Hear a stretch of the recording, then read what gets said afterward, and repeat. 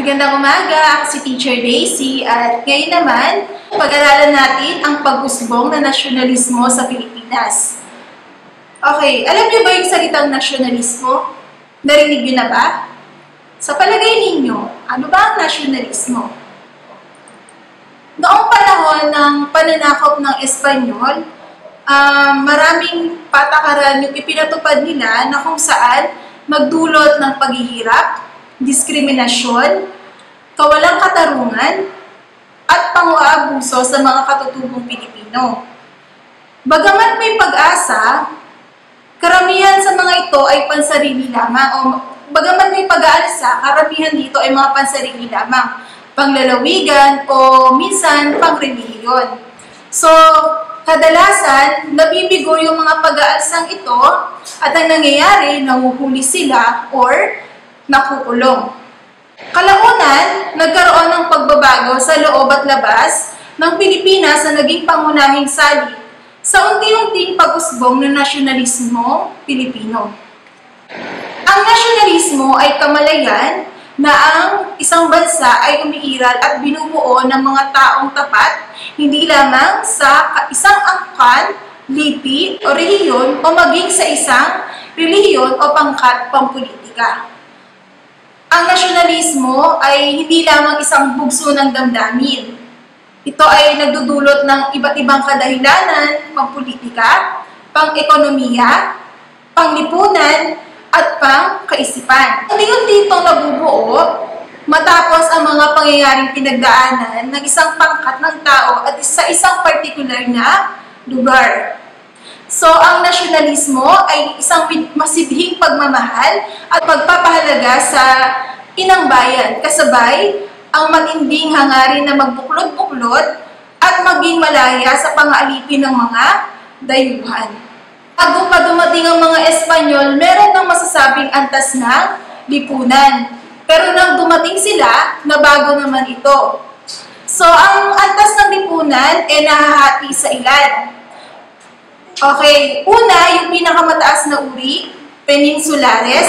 So sila yung mga purong Espanyol, ipinanganak sa Espanya at ang parehong magulang ay Espanyol. Meron naman tayong tinatawag na insulares o Creoles na kung saan parehong magulang ay Espanyol subalit ipinanganak sa Pilipinas. Meron din tayong tinatawag na mestizo. So pag sinabing mestizo, Maaring binubuo ng dalawang lahi ang kanilang mga magulang. Pwedeng Chino o Espanyol, na kung saan ipinanganak sila dito sa Pilipinas. Pwede rin silang anak ng katutubo katulad ng Pilipino o na isang dayuhan na katulad ng Espanyol. Okay, ang mga Pilipino naman, uh, meron din silang sariling kauri. Meron una dyan yung prinsipalya. So ano ba yung mga prinsipalya? Sila yung mga inapo ng mga datu. So, bago dumating yung mga Espanyol, meron tayong ibang mga datu. So, sila na yung mga apo. So, kahit pa paano, medyo may antas pa rin sila dun sa lipunang ginagalawan nila. Kaapu-apuhan sila ng mga datu, maharlika, at mga mayayamang hasyendero na may-ari ng mga malalawak na lupa. Mari din silang pinuno ng pamahalaang lokal. So, pinagkalooban sila, yung pangkat nila na maraming karapatang panlipunan at pang-politika. So, bagamat Pilipino sila, kahit pa paano, tinitingala pa rin sila sa lipunan na yun. Bakit? Kasi matatawag na sila yung nasa antas ng mga mayayaman. Meron din naman tayong tinatawag ng mga inkilino. So, ano yung inkilino? Binubuo ng mga tagapangasiwa ng lupa ng mga Panginoong may lupa. So, ito yung tinatawag na sila yung nangangalaga dun sa mga malalawak na lupain, pero hindi nila pagmamayari. Kumbaga, caretaker lamang sila. Sunod naman yung karaniwang tao. Ito ay kinabibilangan ng mga manggagawa at magbubukid. So, sila yung pinakamababang uri ng uh, tao noon, panahon ng mga Kastila. Matapos ang 250 taong pananakop o pag-iral ng kalakalang galyon sa pagitan ng Maynila at ng Acapulco sa Mexico, kumbaga natigil din yon lalo na nung maraming mga bansa na nasakop dito sa may Timog Amerika ng Espanya ay mga nag-alsa, kumbaga kumalas sila. Dahil nag-alsa sila, nilabanan nila yung Espanya, nagkaroon ng problema sa ekonomiya o pakikipagkalakalan, lalo na dito dumadaan yung mga kalakal na nagmumula sa Pilipinas papunta sa Espanya. So, ano nangyari? Nagkaroon ng monopolyo ng mga produkto. Nagkaroon ng problema yung monopolyo ng produkto ng mga Espanyol dahil nga yung, kumbaga, yung dinadaanan nila o yung mga kinukuhaan nila pinag-aangkatan ng produkto, nag-alsa laban sa kanila. Sunod naman yung pagbubukas ng Pilipinas sa kalakalan sa daigdig. So, dahil nga kumalas na yung mga uh, bansang Mexico, uh, Venezuela, so, ang nangyari, yung Pilipinas, naging bukas tuloy siya sa ibang mga bansa para makipagkalakalan. So dahil mas naging bukas, ang Pilipinas, mas maraming bansa ngayon yung nagpupunta o nakikipagkalakal dito sa ating bansa. Mas marami yung palitan ng produkto, mas dumami, kumbaga, yung pera uh, umiikot dito ngayon sa ating bansa. So dahil lumaki yung kapital o maraming mga negosyante ang nakinabang dahil dito sa paglagaw ng ekonomiya, nagtayo ng maraming mga bangko dito sa sentro ng Pilipinas. So dahil may mga tinayong bangko, malakas yung ekonomiya noong panahon na yun. Nung naging open yung Pilipinas sa pagkipagkalakalan, nag-boom yung ekonomiya. So maraming yumaman, mas maraming nagkapera, lalo nang nakinabang yung mga negosyante. So ano nangyari? Nung yumaman o anong nagkapera yung mga negosyante? So ito na yung tinatawag na uh, pagsilang ng gitnang uri. So sino ba itong gitnang uri na to? Sila yung mga mamamayan sa isang lipunan na kung saan yung bigla silang nagkapera, yumaman. Dahil nga sa pakikipag, kalakalan o pakikipag negosyo. So ano nangyari dahil nagkaroon sila ng pera? So dahil umunlad yung kanilang pamumuhay, o umangat yung antas nila sa lipunan, sila yung kayo nang bumuo ng bagong antas na isinilang yung tinatawag na gitnang uri. So, dahil lumawak yung kaalaman nila, anong nangyari? So, yung mga anak nila, yung mga kamag-anak nila, ang ginawa nila, dahil nga may pera sila, ipinag-aral nila sa mga kolehiyo. So, dahil mas dumami yung nakapag-aral, ngayon, umusbong yung tinatawag na intelihensya o mga ilustrado. So, sino yung mga ilustrado? Ito yung mga tao na kung saan mga nakapag-aral. So ito yung salitang Espanyol na ang ibig sabihin ay naliwanagan.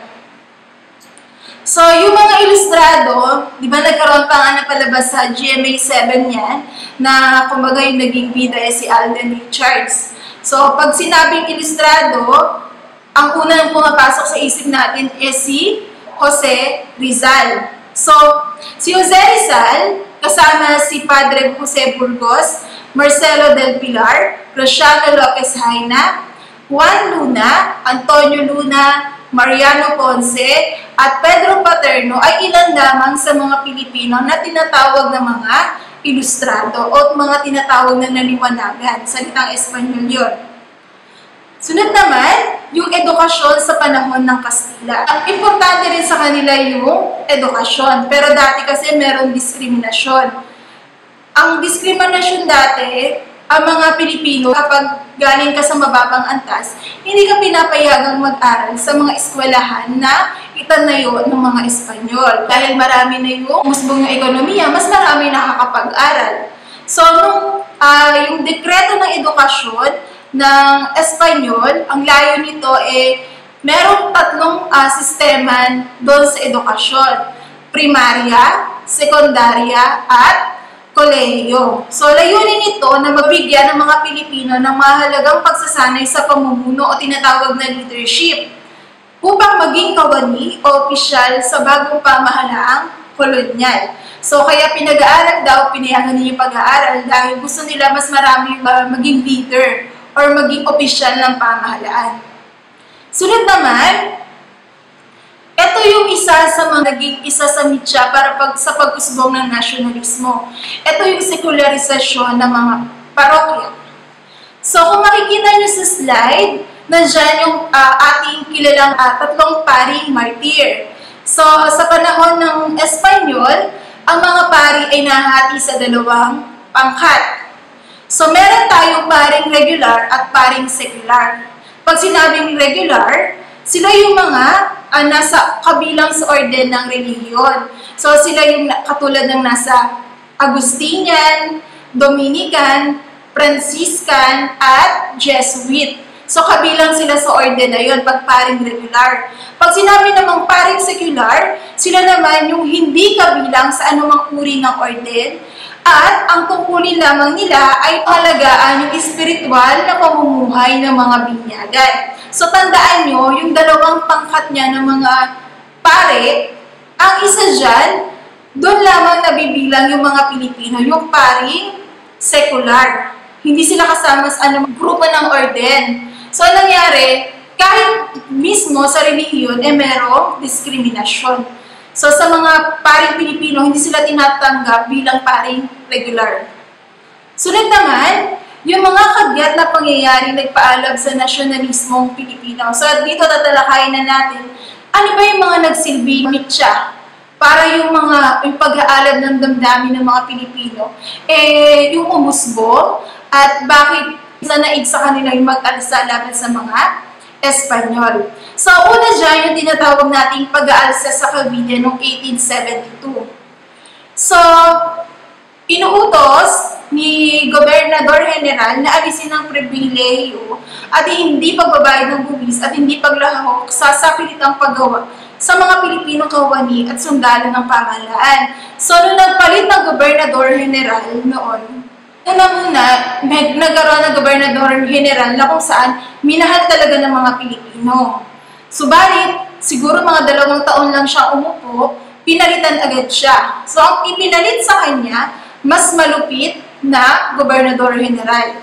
So, itong mas malupit na gobernador general na to, ang ginawa niya, yung mga pribilehiyo na hindi pagbabayad ng buwis, yung hindi ka sasali sa mga sapilitang paggawa, inalis niya yan. So, kailangan lahat ng Pilipino basta Pilipino ka or sa mababang uri, kasali ka dito. So, ano nangyari sa mga tao? Nagkaroon sila ng galit o pag-aalsa. Bakit? Kasi bakit mo tatanggalan ng karapatan or pribilehiyo na noon ay eh, nakukuha nila. So, nung nakuha nila yung sahod nila nung time na to, nakita nila na, ah, bakit may mga kaltas? So, ano nangyari? Noong gabi ng January 20, 1872, pinamunuan ni Sargento Francisco Lamadrid, isang mestisong hindi na masaya sa pamamalakad ng Espanyol, yung pag-alsa laban sa Espanya o kumbaga yung panibagong pagpapasakit sa kanila. So, ano nangyari doon sa pag-aalsa nila? Naging successful ba? Dito na ngayon papasok na nadama yung tatlong pari, martyr.